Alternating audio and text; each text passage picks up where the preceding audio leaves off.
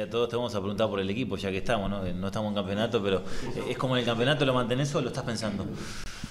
No, no, ya va. Se va a saber, pero somos de la idea de darlo siempre el domingo.